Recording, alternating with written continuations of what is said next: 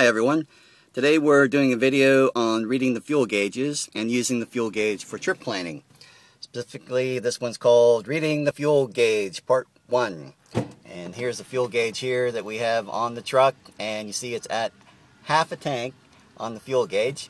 And um, it's by design and I'm at the uh, receiver and I just got unloaded and I have a half a tank of fuel. Now on the next pickup, if I was over 200 pounds on my steers, and I had a full tank, that's 700 pounds I could have applied to the weight on the steers. So that would balance me out with a half tank as opposed to a full tank. But that's for a more advanced video, and that's in the coming attractions video. For this video, we're going to study a little bit about reading the fuel gauge and doing some simpler calculations with a little quiz at the end. So here's your standard gauge. We have 100 gallon tanks, two of them, one on each side. So that's 200 gallons. A full tank weighs 1,400 pounds, half tank's going to weigh 700 pounds, and a quarter tank is going to weigh 350 pounds, and it's going to be 50 gallons. These are approximate weights. Now, if you see this fuel gauge here is on 3 eighths, and not on a quarter, and it's not on a half, it's in between. So we have to get used to being a little more accurate with the fuel gauge and reading the weights and the fuel gauge in eighths. So here we have the fuel gauge converted to eighths, and one eighth is 25 gallons.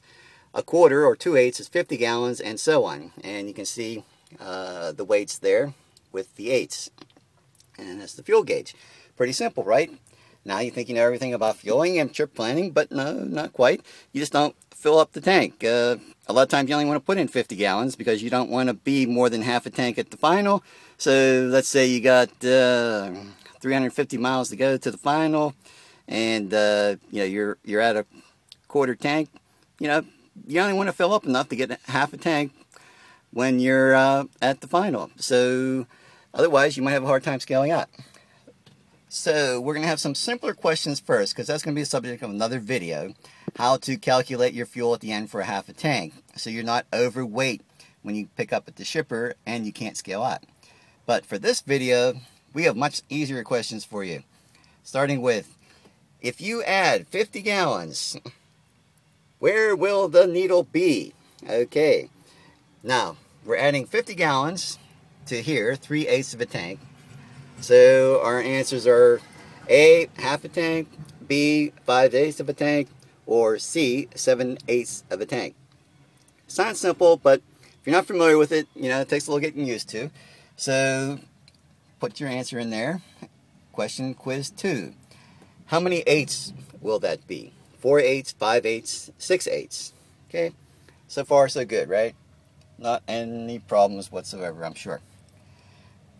Number three, figuring at six miles per gallon for heavy loads or seven miles per gallon for lighter loads, how far will you be able to go with this tank of fuel after you've added the 50 gallons. Now remember, we've added 50 gallons to the fuel tank and it started at 3 eighths. I want to know how far we can go once we got it, that additional fuel put on. Is it A, 350 miles, B, 875 miles, or C, 1400 miles? And we're going to use approximately 7 miles per gallon for that calculation. We'll assume it's fairly light 30,000 pounds. And I know that it makes a difference if you're going up and down hills and so forth. But we'll just figure on 7 miles per gallon for that one. That'll lead us into question 4. How much fuel weight will be added to the gross? Alright, and for that we're going to use 7 pounds to the gallon.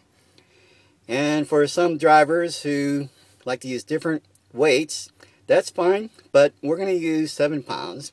And if you have any question about the weight of a gallon of diesel, feel free to get a gallon container and weigh a gallon. And if it weighs something other than seven pounds, give me a holler, hit me up and let me know. All right, great. Now, so what's the fuel weight that's added to the gross? Okay, so we took this 3 eighths, we've added 50 gallons. So how much fuel weight did we add? A, 350 pounds, B, 875 pounds, or C, 500 pounds. All right. Now we're getting into some real trip planning here. And for trip planning, I like to use a series of things that I call quick calcs. And these quick calcs can always be adjusted. They can be rounded. Uh, they can be made to be more conservative. But this is just to give you an idea of some calculations that you can use to be really fast, really efficient. When the company throws you all kind of load assignments and they want you to make a decision in five or ten minutes, hey, do you want this load or not? And uh, you've got to decide. So this is the beginning of quick calcs for trip planning. And for this question, if you figure 7 miles per gallon and 7 pounds per gallon, how many pounds of fuel will you burn off per mile you drive? Alright, so for every mile you drive, using this metric, 7 miles per gallon, 7 pounds per gallon, how many pounds of fuel will you burn off for every mile? Will you burn off 1 pound of fuel for every mile you drive? 7 pounds of fuel for every mile you drive? Or 3.5 pounds of fuel for every mile you drive? And again, these are estimates, these are uh, approximations, you know, these are not exact, but one of these answers is clearly better than the rest. Okay, we'll give you one more uh, look at the uh, entire quiz. And coming attractions, we have all kind of goodies coming up. We're going to have a video where how you can plan to arrive at your final with half a tank.